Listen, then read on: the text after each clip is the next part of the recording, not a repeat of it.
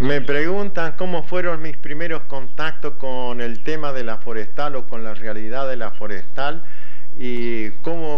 comencé y por qué hacer el libro. Mis primeros contactos se producen en 1935, yo tenía 19 años, 19, 20 años, y estuve en un campo, bastante tiempo en un campo de un tío mío que distaba de 10 a 15 kilómetros de Villa Ana y en Jardinera nos fuimos allá y pasé un día en Villa Ana y vi la población ya funcionando las fábricas de tanino, que era una hermosa población con su arboleda verde elevada, hermosa, las calles tapizadas de color rojo por el acerrín de quebracho, verdaderamente era una bella población, pero en el campo donde yo estaba había todavía peones que habían trabajado con la forestal y conversando con ellos me hicieron conocer en parte desde luego Em, de una manera muy fragmentaria, me hicieron conocer la otra realidad, la forestal, la forestal de los quebrachos, la forestal de los hacheros.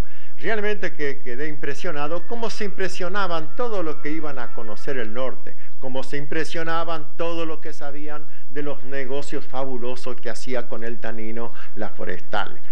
En 1964 recibí una carta de la editorial Platina de Buenos Aires, donde me pedían que escribiese una novela sobre el trabajo en los montes y la industria del tanino. En resumen, una novela sobre el quebracho. Les contesté que no podía hacer esa novela. Sabía que eh, la mayoría, la masa de la población, la masa de los hacheros eran correntinos o paraguayos y yo no dominaba nada relativo a las expresiones orales de esas personas, no conocía bien, suficientemente bien, ni había convivido con ellos lo suficiente como para tener la pretensión de escribir una novela de esa magnitud. Pero sí les propuse escribir un estudio, hacer un estudio sobre la forestal. Inmediatamente me contestaron que sí y que me ponga a trabajar porque eso era en diciembre del 64, porque dentro de sus planes pensaban publicar un libro sobre ese tema en el mes de septiembre.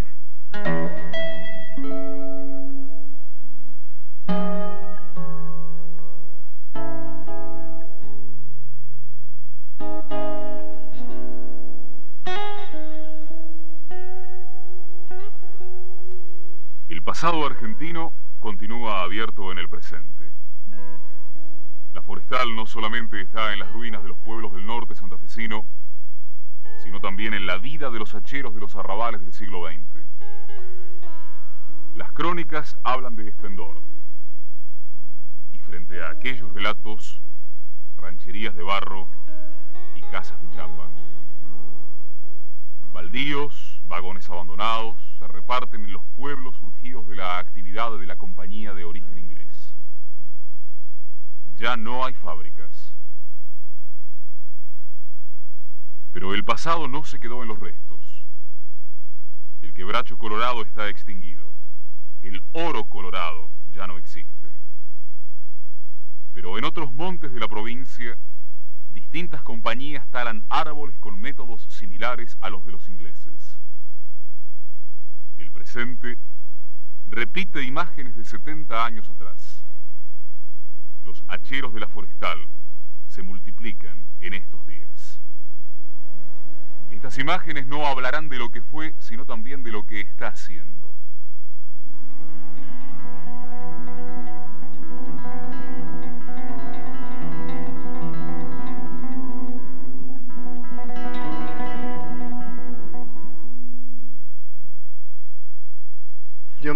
Acá porque me, me corrió los bolivianos, empezó la guerra, me escapé. O si no, no venía nunca a la Argentina. ¿Y por qué dice que no venía nunca a la Argentina? Eh, estábamos bien en Paraguay. Yo tengo mi hermano que está en Paraguay, pero está 50 mil veces mejor que yo. En Paraguay hay vida, acá no hay más vida. ¿No hay más vida? ¿Y usted cuando vino acá, a qué se dedicó a trabajar? Cosechero y hacer el quebracho. ¿Ganaba bastante para sobrevivir y mantener la familia? No, no tenía familia para ganar 48 pesos libres aquel tiempo. Solamente. Bueno, en este momento yo estoy cobrando, en este mes vamos a cobrar este, mes, este el mes de octubre vamos a cobrar 750 mil australes. ¿Usted le parece que todo lo que trabajó en los montes y en la forestal, que ese sueldo es justo para un jubilado? No, para mí, mire, sin ofender a nadie, es una limosna.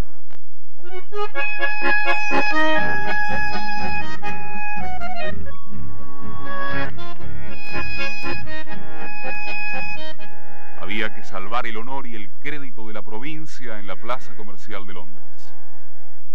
De esta manera, los funcionarios santafesinos de principios de la década del 80 del siglo pasado justificaron el pago de una deuda con la casa inglesa, Murrieta y compañía. Para poder cumplir con el honor, el gobierno de la provincia entregó 668 leguas cuadradas del norte de Santa Fe. La venta de las tierras, un total de 1.804.563 hectáreas, fue encargada al señor Lucas González. Él era también el apoderado de la compañía inglesa Murrieta y compañía. Tres años después, en 1884, el mencionado González vendió las tierras a 5.292 pesos la legua cuadrada a la Santa Fe Land Company. Como González compró a un precio de 1.500 pesos la legua cuadrada, la ganancia para la compañía fue del 245%. Igualmente, la compañía se quedó con gran parte del territorio donde el quebracho colorado aparecía como fuente de riqueza. Esa gran concentración de tierras impidió la formación de múltiples chacras en manos de inmigrantes que en esos años llegaban por millares.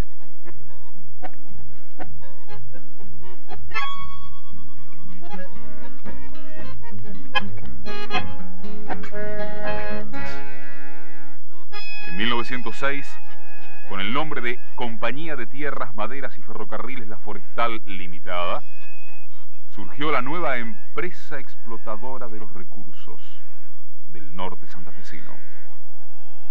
Su asiento legal estaba en Inglaterra y tenía por objetivo la compra de la mayor productora de tanino del mundo, en ese entonces, claro, la Compañía Forestal del Chaco. Luego, adquirió los territorios linderos a los suyos. En 1913 sumó la Argentina Quebracho Company y en 1914 fusionó las tierras vendidas con suculenta ganancia a la Santa Fe Land Company. La forestal llegó a concentrar, de esta manera, más de 2 millones de hectáreas bajo su dominio.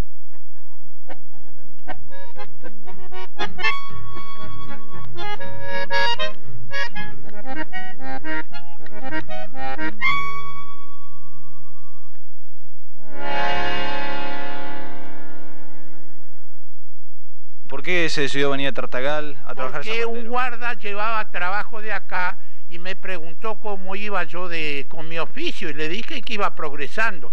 Me dice, te conviene ir a Tartagal, marchó la fábrica y no hay zapatero. Y entonces le he pedido a mi cuñado que me ayude y me dio los materiales, pero plata no me quiso dar. Y mi mamá, la pobre, tenía tres pesos bajo el colchón y se los robé. Le dije, ¿cómo no le va a dar de comer a la suegra?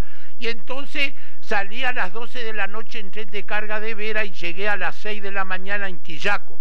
Llegué con hombre, tomé un completo café con leche 40 centavos. Pagué los 40 y me quedó 2 pesos y 60 y con eso me salí ganando la vida. La facilidad que le daban en los créditos, este, la gente estaba siempre bien vestida siempre fue bien vestida a los bailes. Mire, le voy a dar la parte buena y la parte mala, lo que yo este, agarré, ¿no es cierto?, en aquel tiempo. Los bailes eran bailes muy bien presentados que yo ahora sinceramente critico, porque iban bien vestidos. La forestal daba mucho, eh, yo trabajé en la tienda, daban créditos. Hice para, para las fiestas patrias, para la fin de año, nosotros trabajábamos mucho porque este, se, se daba los créditos, ¿no es cierto? Lo único que, que después yo, uno se daba cuenta que cuando terminó la forestal nosotros no teníamos nada, ¿no es cierto? Porque todo se iba en... En una palabra, no los prepararon para lo que vino después. Eso mismo. La gente no, estaba no, no estaba preparada. pero que se vivió bien, que los bailes eran bailes sociales, ¿no es cierto? Era cierto. ¿Había una diferencia entre un club y el otro? Sí, sí, había, sí, sí, sí, sí, había. Había diferencia. Nosotros éramos del esportivo y no podíamos venir al Guillermina, porque esto era de los empleados, ¿no es cierto? Yo últimamente trabajé en la tienda y ya estaba en la categoría de empleado, pero hasta eh, sí, seguí yendo allá nomás. en los clubes sociales del norte de la provincia de Santa Fe, los grupos minoritarios estrechaban vínculos con los representantes ingleses. Mientras tanto, la empresa nunca pagó impuestos por la totalidad de las tierras. Evadía aportes sobre 500.000 hectáreas de las 2.100.000 que poseía. Un caso curioso ocurrió en 1916. El gobierno provincial le cobró a la forestal 300.000 pesos en concepto de impuestos. El mismo año, el gobierno de su graciosa majestad británica le cobró, por el mismo concepto, 8.797.503 pesos. Todo un símbolo de quienes protegían sus intereses y quienes no. Por ello, los directivos de la compañía impusieron el nombre del gobernador santafesino de entonces a una calle de Villa Guillermina, un simple acto de gratitud.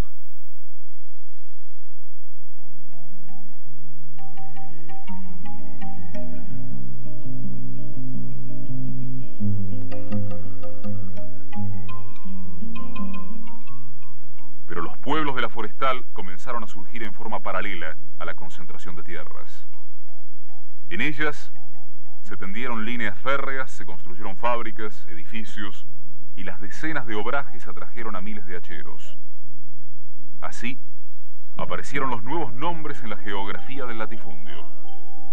La Gallareta, Villa Ana, Santa Felicia, Villa Guillermina y Tartagal.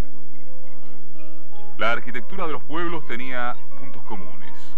Fábrica, los edificios para la administración con habitaciones especiales para el gerente y los empleados casados, la casa de visitas, el almacén de ramos generales, panaderías, carnicerías y por supuesto, los ranchos para los obreros.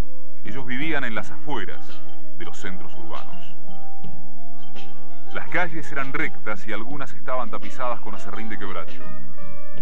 Había canchas de golf, luz eléctrica, agua corriente, cloacas, fábrica de hielo, todo disfrutado por una minoría de los pueblos. No había punto de contacto entre aquellos pueblos y los argentinos. Para los incautos era la demostración del advenimiento de la civilización. Todo le pertenecía a la compañía. Y mientras tanto, el Estado provincial se mantenía alejado. El derecho a la propiedad era intocable.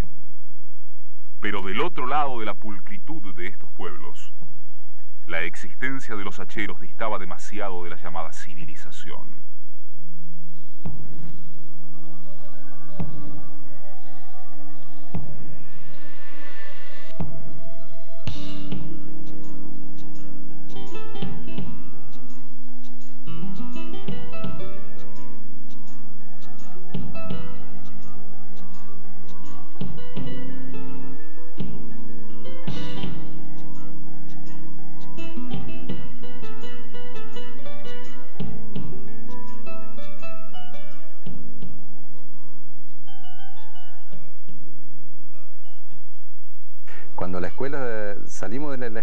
Primaria, nosotros entramos a trabajar dentro de la compañía, porque la compañía lo que hacía era, se puede decir, una cultura de trabajo, donde éramos todos de cultura de trabajo y dependencia. Entonces, nosotros vivíamos pendientes de entrar a trabajar en la forestal. Todos queríamos ser empleados de la forestal, trabajar, porque se sabía que, que se cobraba bien, se estaba bien, entonces queríamos ser empleados de la forestal. Esa fue una cultura de, de trabajo y dependencia, que hoy, sin embargo, después que se va la compañía, es una cultura de trabajo pero independiente, donde hay que luchar. Después otra cosa que me acuerdo, que más de una vez me tocó, hacíamos cuando teníamos necesidad de algún dinero por adelantado, pedíamos, ¿no es cierto? Nos concedía el gerente o el contador y nos íbamos a la caja y era un simple empleado como nosotros y nos retaba. nos hacía observaciones, ¿vio? Que por qué pedíamos, que qué era lo que, como que fuera él el que desembolsillaba. Hay pocos ejemplos de obreros que pudieron trabajar más de 10 años para la forestal. No había límite para la jornada de labor, porque de sol a sol se producía en esa, la tierra del quebracho colorado. Los pulmones se iban cubriendo de acerrín, al tiempo que las arcas de la compañía se cubrían de dinero. Los hacheros se conchavaban por medio de contratistas. Ellos controlaban y vigilaban a los trabajadores, les vendían las herramientas y hasta algunos elementos de seguridad para la producción en el monte. Los obrajeros debían comprar sus insumos también a los contratistas, quienes luego rendían cuentas a la compañía. 25.000 personas y 2 millones de hectáreas eran los números que explicaban la ganancia de la forestal. No se usaba la moneda nacional dentro del latifundio, ni para pagar sueldos, ni para comprar cualquier elemento de la vida cotidiana. Los dominios territoriales de la forestal llegaron virtualmente a tener características de un Estado propio. Se pagaba con fichas ovales, con la identificación de la forestal, siempre por medio de los contratistas. Esta moneda, de curso obligatorio entre los límites del latifundio, expresaba un valor en especies que se canjeaba en los almacenes de ramos generales. Andan y come de esos quebrachos, tu padre no puede, ya ves cómo está. Tosió mucho anoche, le duele la espalda, con fiebre tirita. Mamá, ¿qué será? Y cosas de el promedio mensual de trabajo era 20 días. En 1939 esto representaba 24 pesos frente a 130 que ganaba cualquier maestro del país para la misma época. Y también en aquella época el salario docente era considerado de hambre. En 1915, en el denominado libro de limosnas, figuraron 800 raciones alimenticias por semana entregadas a los trabajadores de las fábricas y del monte. En el Congreso Provincial, mientras tanto, el diputado Sacone calificaba tal acción como las obras humanitarias de la forestal. Otros legisladores hablaban de la necesidad de dejar en paz a los que habían traído el progreso y la civilización al salvaje norte santafesino. A todo esto, jueces de paz y policías recibían pagos extras de la compañía. El sueldo de un comisario era de 150 pesos, pero sumaban una colaboración de 520 de los representantes de los intereses ingleses. La geografía íntima de los pueblos también hacía lugar para las casas de baile, donde prostitutas, muchas de ellas menores de edad, libre juego y alcohol a discreción, actuaban de válvula de escape para los obreros. Llegaron a funcionar hasta tres días a la semana. El diputado Sacone, desde su bancada, acotó lo siguiente. El único problema de estas casas de baile es que fatigan el cuerpo y el espíritu del trabajador para continuar las tareas del día siguiente. Y eran doce años apenas cumplidos que iban a enfrentarse con la vida en sí. Hijos de mis selvas, músculos de acero, sufrida y valiente raza guaraní.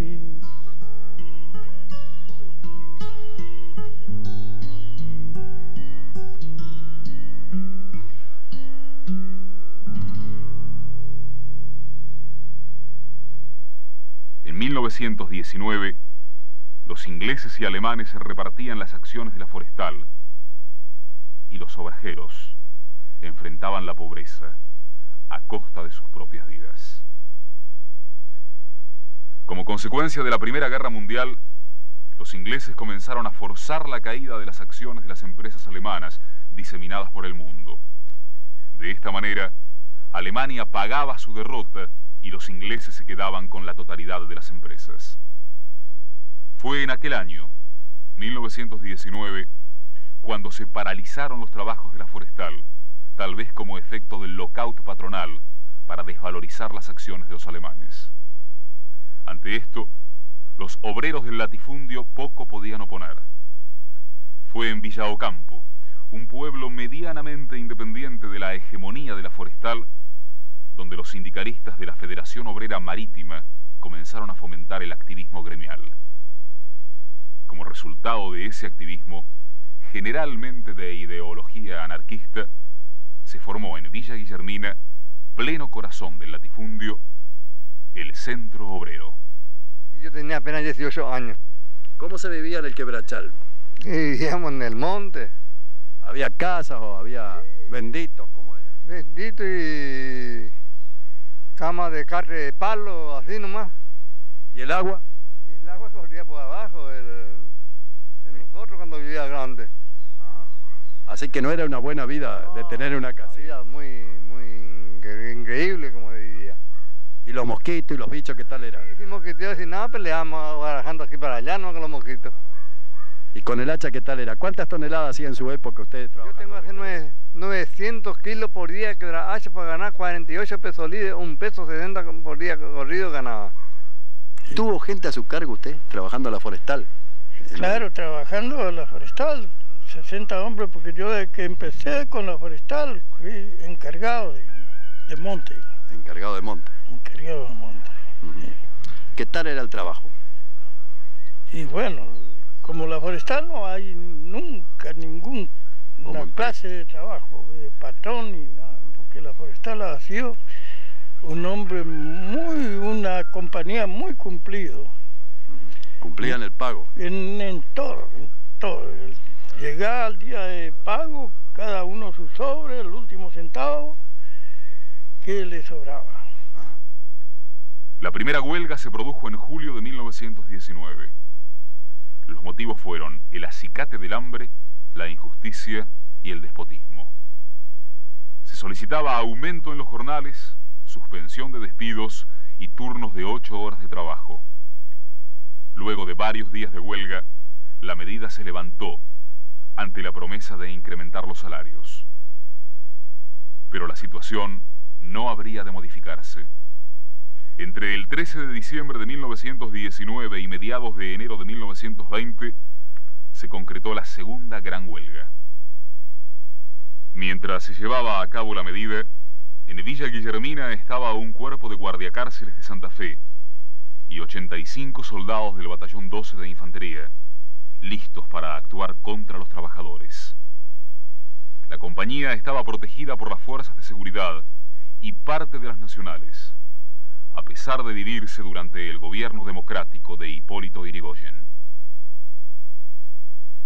Los trabajadores consiguieron parte de sus objetivos, promesa de aumento en los jornales y establecimiento de tres turnos de ocho horas.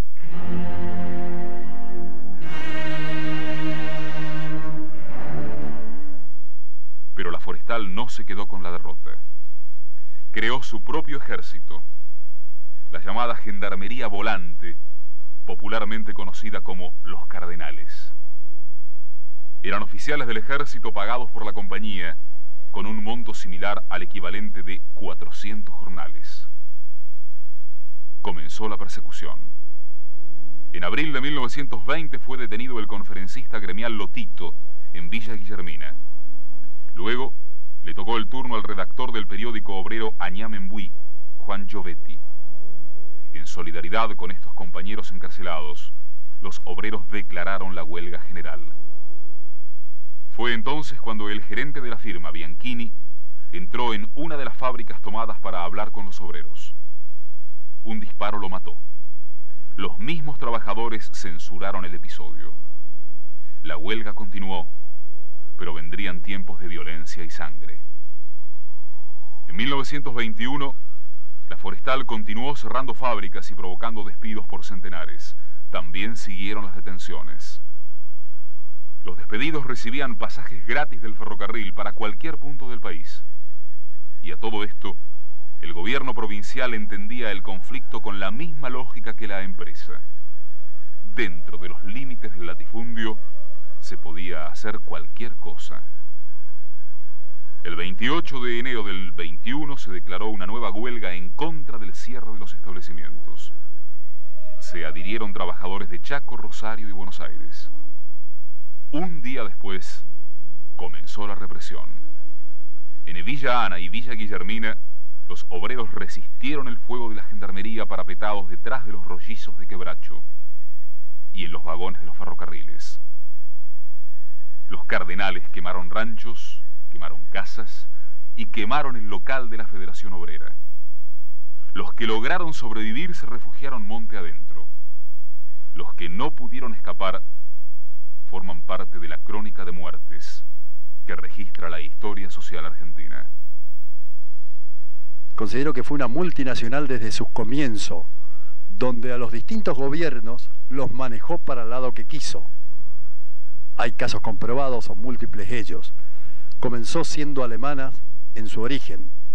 Después los ingleses tomaron las acciones y luego de la Primera Guerra la forestal pasa en manos de los ingleses. Esos cuatro años de huelga que llegaron a matar a un gerente, un comisario, que comenzó, realmente fue manejado por un sindicato amarillo creado por la misma forestal, que en su comienzo fueron las ideas socialistas que venían a través de los embarcados a Puerto Piracuacito. Lo digo así porque el jefe de sesión pueblo, que manejaba todo el pueblo privado de Villa Guillermina, pudo permitir que se forme el sindicato, que ocasione desmanes, que haya muertes, hasta la de un gerente, de un comisario, eh, en algunos casos 300, 400 hacheros muertos en la forestal. La pauta le da cuando viene el tablero Villa Guillermina, que encuentran incluso las viseras de los cardenales que fueron muertos en aquella época. En los cimientos, al escarbar, encontraron eso. ¿Qué fue la forestal? Una empresa que muchos dicen la mayor empresa que vino a Argentina. Pero nos olvidamos de algo, el capital. En 50 años arrasaron con el quebrachal, único fenómeno botánico del planeta que estaba acá. Esa es la triste realidad. Sí, nos dejaron casas hermosas, dejaron casas para los obreros. El confort que ellos vivieron es exacto, pero a ningún obrero le enseñaron cómo debía subsistir cuando ellos se iban. Ahí está el grave problema. En 1991 esto es lo que queda de la forestal, o sea, así ha dejado nuestra zona plena cuña boscosa, pleno tartagal. En 1991 lo único que tenemos son ruinas, acá había un edificio de seis pisos que funcionaba la forestal, hoy no queda nada, hoy queda solamente mucha gente con mucha rabia, mucha gente con mucho dolor por todo lo que se llevaron y no nos han dejado absolutamente nada. La tala indiscriminada del quebracho continuó como también siguió la acumulación de riquezas de parte de la forestal.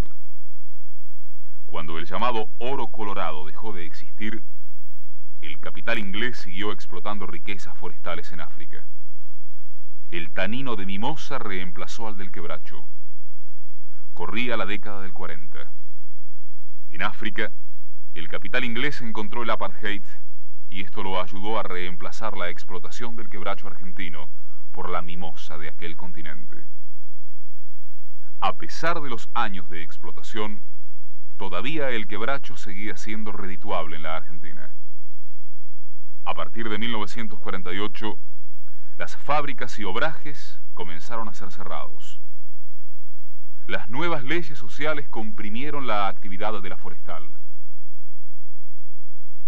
El cierre de la fábrica fue paralelo al desmantelamiento de vías y estaciones de ferrocarril, junto con la destrucción de los tanques de agua potable. Todo esto repercutió en la población que todavía existía en aquella región de Santa Fe. Comenzó a hablarse de pueblos fantasmas.